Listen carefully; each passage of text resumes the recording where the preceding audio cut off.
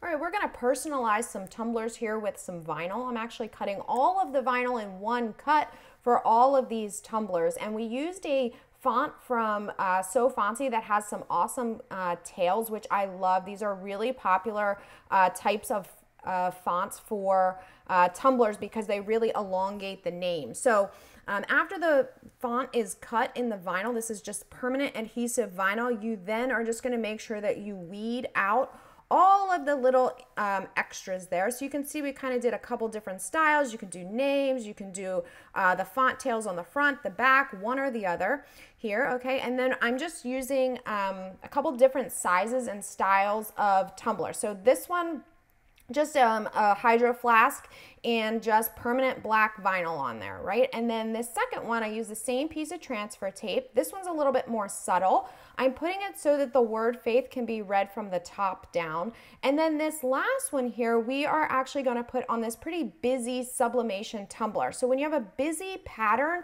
it's a great idea to put an offset around so that the name or the word doesn't get lost. So I just put a bold uh, white offset around there and that'll just make the black uh, name pop right off this tumbler. Now this tumbler, as I said, is sublimation, so it actually has a line where the pattern met. So we're gonna use that space and actually cover it pretty tricky here with the name and you will never even be able to see. So that's vinyl over sublimation and super cute. If you're interested in this font, make sure you grab it from So Fontsy. We'll link to it in the top.